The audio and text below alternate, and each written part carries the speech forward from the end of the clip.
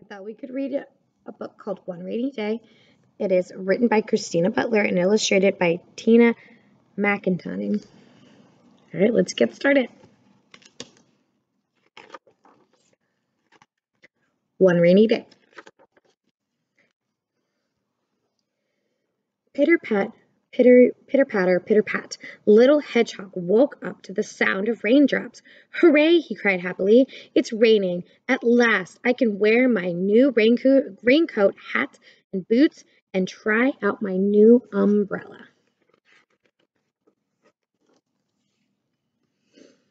Little Hedgehog wiggled into his shiny new boots as quickly as he could. He ran outside and opened his umbrella with a pop. Pitter patter, pitter pat, the raindrops bounced all around him. This is great, said Little Hedgehog, laughing, spinning the umbrella around and around and splashing in the deepest puddles he could find.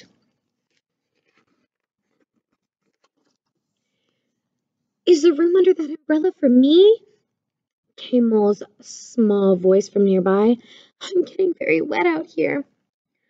Oh my goodness, you are wet, Mole. Here, take my umbrella, said Little Hedgehog. What are you doing out here in the rain? My house is full of water, replied Mole sadly. I'm looking for somewhere to dig a new home. I'll come and help you, Little Hedgehog offered. Thank you, said Little Mole. Mole snuggled under the umbrella and danced down the path in front of Little Hedgehog. Then, all of a sudden at once, a gust of wind turned the umbrella inside out. Little Hedgehog raced after Little Mole as he was swept off the ground.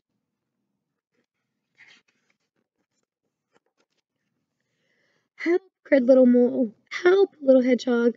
I've got you, yelled Little Hedgehog holding onto Mole's feet. Little Hedgehog pulled with all his might. They wibbled and then they wobbled, and then they both fell over with a bump. Are you all right? Mole asked Little Hedgehog. Picking himself up, Mole nodded. But it is too windy today. Can we look for my new home tomorrow? Good idea, said, replied Little Hedgehog. We'll go back to my house and try again in the morning. But just when they thought the wind had passed, a huge gust tossed them like autumn leaves into the air. The umbrella fell into the river with a splash. Little Hedgehog dropped safely into the umbrella, but Mole fell straight into the water. Help, he gasped and sputtered. Give me your paw, Mole, shouted Little Hedgehog. Mole scrambled into the umbrella as it bobbed on its way down the river. Thank you, Little Hedgehog, he whispered, shivering, but then he sat up. I hear someone shouting. It was Fox waving from the bank. There he is.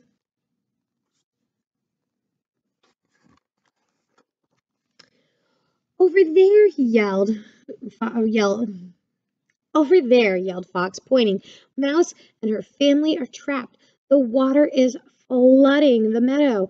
Can you rescue them? Come on, Mole, said Little Hedgehog. Let's go.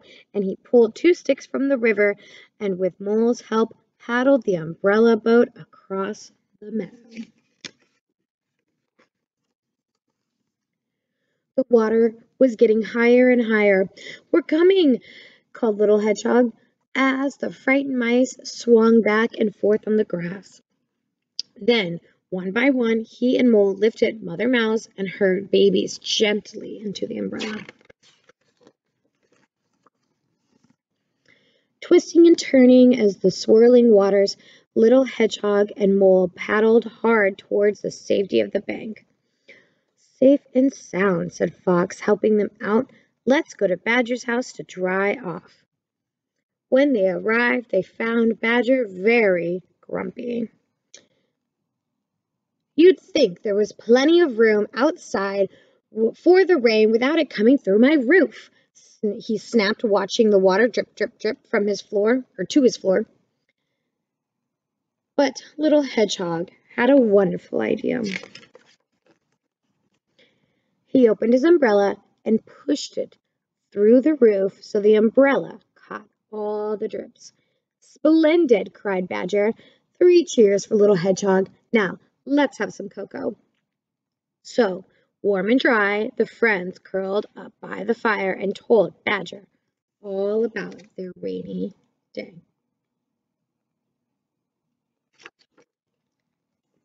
Now, on a rainy day, if you have a leak in your roof, I would not recommend putting that umbrella through the roof. Maybe put a bucket down instead, but our roofs aren't made of dirt and, and soil like they are for uh, Badger and Little Hedgehog. And yeah, don't don't do that. but it's a cute story. I thought it was appropriate since it's the last week of April. April showers bring those beautiful May flowers. So as the rain keeps coming along, we'll hopefully see more and more beautiful flowers. I do love seeing all the tulips that have been out. I can't wait to see more flowers spreading for the springtime. All right, so we're going to paint a picture from the story or inspired by the story. So if you'd like to join me on that, go ahead and get all your uh, all your materials. So if you're if you're going to paint, grab those brushes, grab your paint, grab your tray, grab paper, water, maybe a smock or something and make sure you don't get the paint all over yourself. If you don't have paint, that's fine too. Don't worry. You can always follow along with crowns, markers, or color pencils, whatever you have at home works. And I'll see you in just a few minutes. Okay, thanks. All right, everybody. So we read our story, One Rainy Day. Hopefully, our rainy days will slow down. They have a little bit already. Um, so I thought we could recreate uh, a scene from the book where the umbrella is floating down the river. I thought that was really cute. So this is what I've already kind of come up with, and we're going to do this together, okay? All right, let's get started.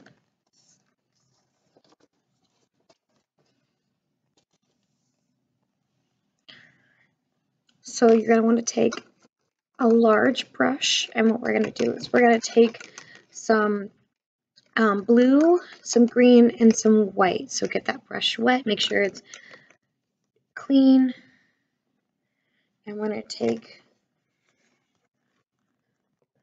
some blue, some green, and some white, and we're just going to lay it. We're going to actually um, dot it all over the paper in different spots.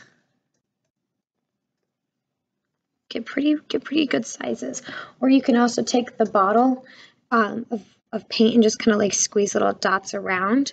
That way you get them kind of all over the place. Just little dots if you're going to do the paint itself. So this way what we're going to do is when we put this on the paper, we're going to put it on here and then we're going to just brush over and completely blend it all together. So it's going to make a pretty unique color. You don't need a lot of green. You'll probably want more blue than green and you'll want more white than green as well. And you don't really want to put a lot at the top because what we're going to do is that's going to be the bushes up there. Okay, so now we're going to blend all our, oh, don't forget some, just a little bit of white because what we're going to do is we're also going to add some white to the top to kind of make the, the bubbles of the water as well. So just put a little bit of white on there, kind of space it out.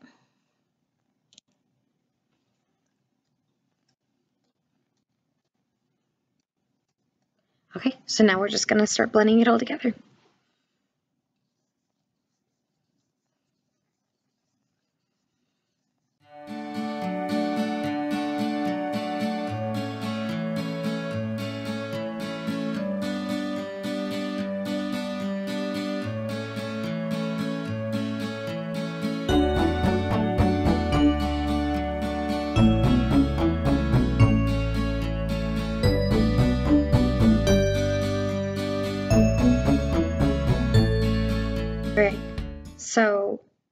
You're going to get, when you do it like that, that's one of my favorite ways of just blending colors together, just popping down different colors you know you want to use.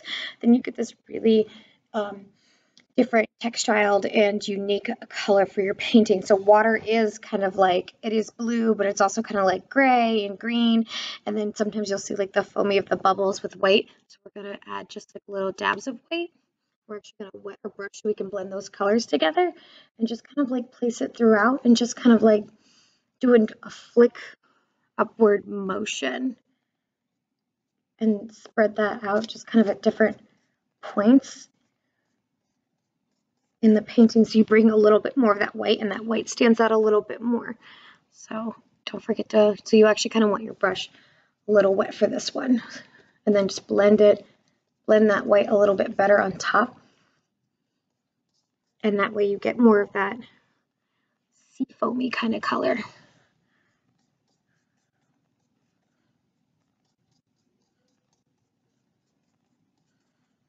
And just kind of do that throughout the whole painting.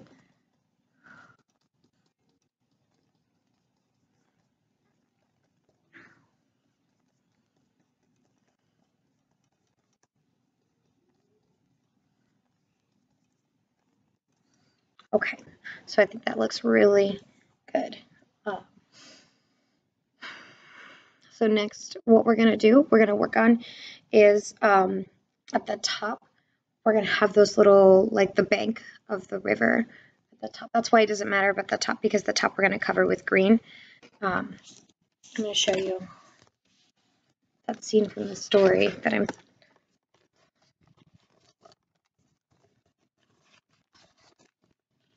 So kind of like we're going to do something really similar to this again and see how it's got like the textiles of the, the green and the white. And then we're going to, this is going to be the top. We're just going to kind of do a grassy river at the top or grassy riverbank there at the top there. So for those, you're going to want the colors, you're going to want the green and the white and the yellow.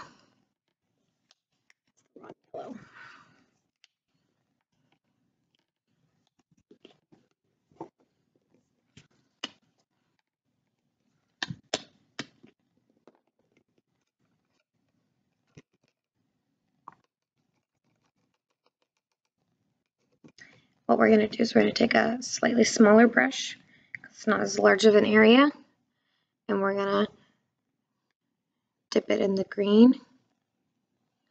And then what you're going to do is you're just going to find where you want that bank to start on your painting. So I'm going to probably start it right about there, and then I'm going to flick my brush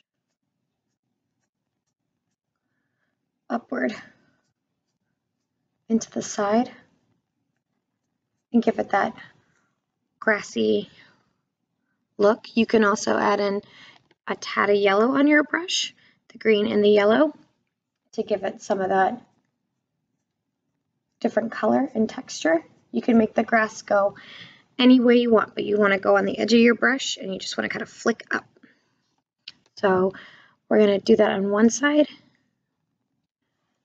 And then we're going to kind of leave a little space open and do it on the other.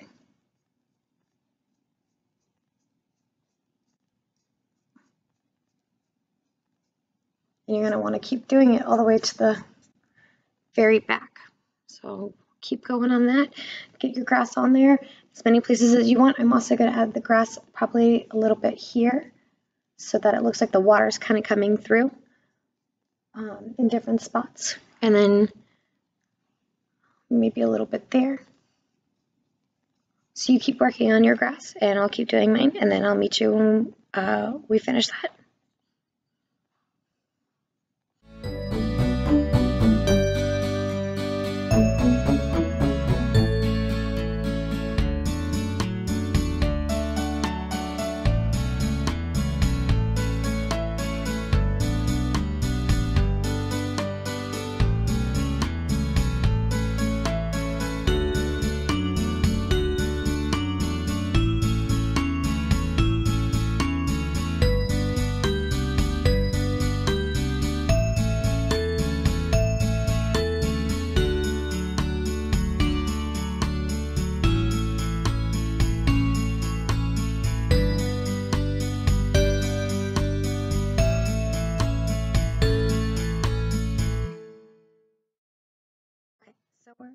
So we're back to the background of our river, our grassy area of the bank of the river. And so what we're going to do is we're going to put on our um, our umbrella boat now. So we're just gonna, what I'm gonna do is I'm gonna go ahead and actually draw this on there first so I can gauge how big I want my umbrella to be in the space. And then what we'll do is we'll trace over it. So just make a half circle on where you want your umbrella and we'll go from there. And you can either do this with a pencil or um, I highly recommend using uh, just regular chalk because then that way it's easier to just rub off or um, and to cover up with the paint. I don't have any chalk, I can't seem to find any, but a pencil works too. Lightly draw it on there with the pencil.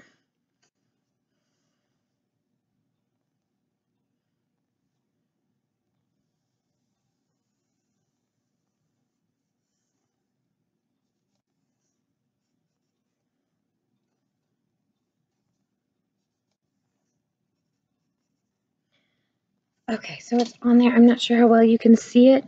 I'm actually going to make my umbrella pretty big this time compared to the first one I did. I wanted to actually take up more of the space of the painting itself. So what I'm going to do is just follow that line that I made with um, pretty decent sized brush and just outline that half circle first.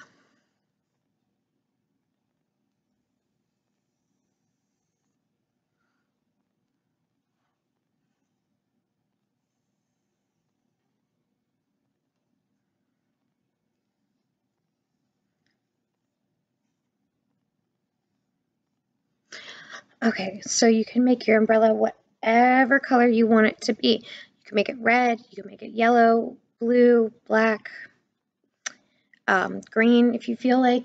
Again, like when we did the truffula trees, now that I, before I continue, um, we might want to actually put down a layer of white first uh, because of that blue back, because of that dark blue background, and then we can add in more of that red. So we'll fill in the rest of this with white, and then we'll go over it again in red.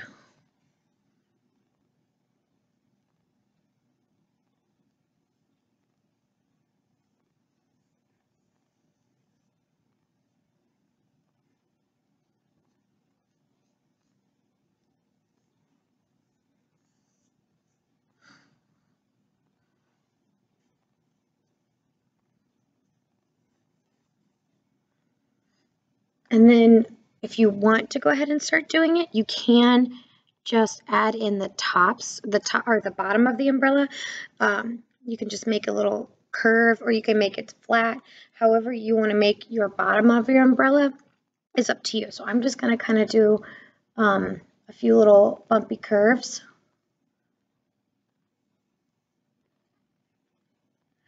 As part of the bottom of my umbrella, but you can make them points or you can make them rectangles, like a straight line, however you want. So go ahead and just fill the rest of that in with white.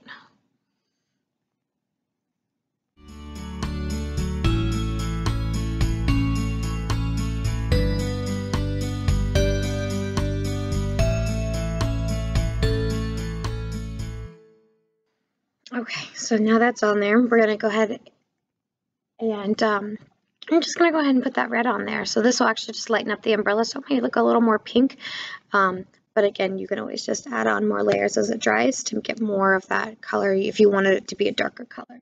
Or you can wait for the paint to dry a little bit more and then add that second layer.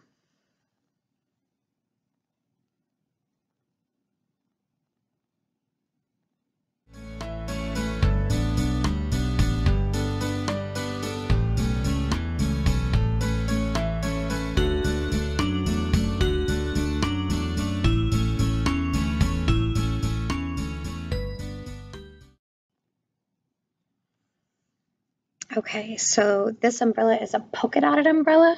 So we're now we actually are going to wait for the paint to dry and add in those polka dots.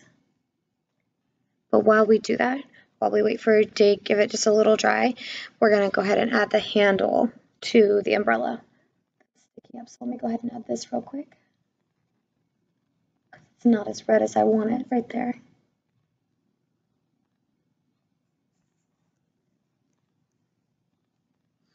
And we'll go ahead and add that handle to the, to the, to the umbrella itself. So if you have brown paint or you don't have brown paint, it's super easy to mix red, yellow, and blue. If you want a more lighter color, you'll want to add more yellow and red than blue. Uh, but make sure you add all three colors in there. So it's very simple. You're going to just figure out which way you want the handle to go. It doesn't really matter. It's your umbrella. So I'm just to my handle there in the center. And then I'm to bring it and I'm to make a curve part right there. So just a line up and then you can either curve it from that line or curve it away from the line and bring that line together like I just did. And you might need to go over it maybe um, one or two times just to give it um, a little more of that color in there.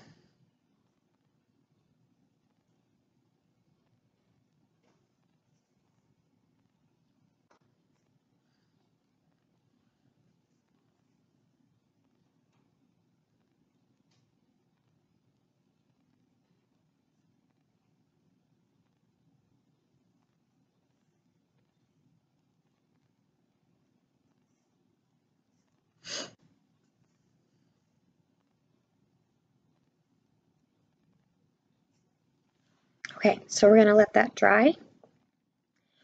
And then we'll come back and we'll add our polka dots.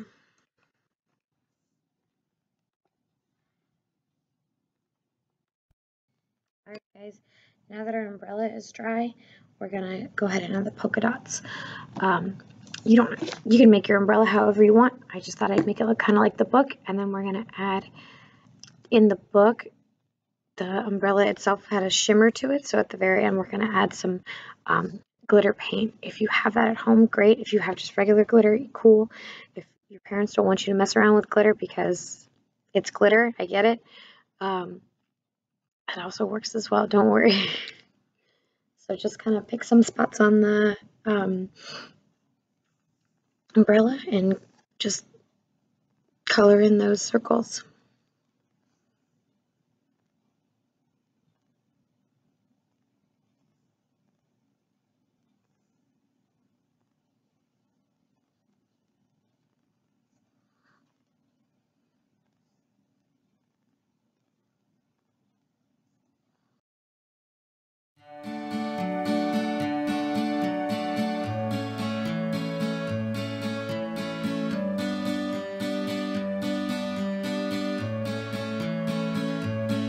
I put a lot of polka dots on mine, um, but while the paint is still wet, I have some glitter paint here, so I'm just going to go ahead and dip my brush in that. And it's silver and pretty light. I'm just going to go ahead and just stick it right on top so you can you can see right on top of it the white.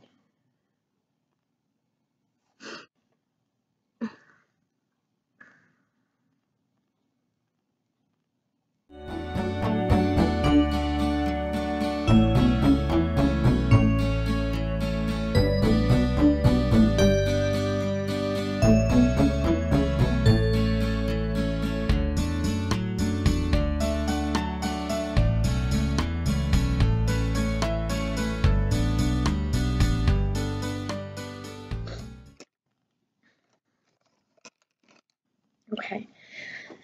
So I went ahead and just added the glitter onto my polka dots, but you can add it over the whole thing. If you really want to add a lot of glitter to just your umbrella, you can um, go over it again one more time to um, get the to get that wet paint, and then um, like if you actually have like traditional glitter glitter, and just sprinkle it, and then um, shift it on the paper, and then dump it over a trash can, just so you have that um, glitter kind of contained in one spot. And um, and that way you give it kind of a more fun shimmery look, like it kind of has a little bit in the book. So there it is right there. If I, well, you can see that glittery shimmeriness. I put those, I put that polka dot paint on kind of kind of thick, so it's gonna be a minute before it dries. But I want to thank you for coming to join me today with one rainy day and our beautiful painting today of our of our um, umbrella stuck in the water. Um, and uh, I'll see you next week. Next week we'll do something for Mother's Day. I'm trying to figure out the best way about going to do this particular project. So as soon as I get that ready to go, I'll get that video together and upload it for you. So hopefully if you need a Mother's Day idea, I can help you with that. Remember, stay home, stay safe, wash your hands. We love you and we can't wait to see you again.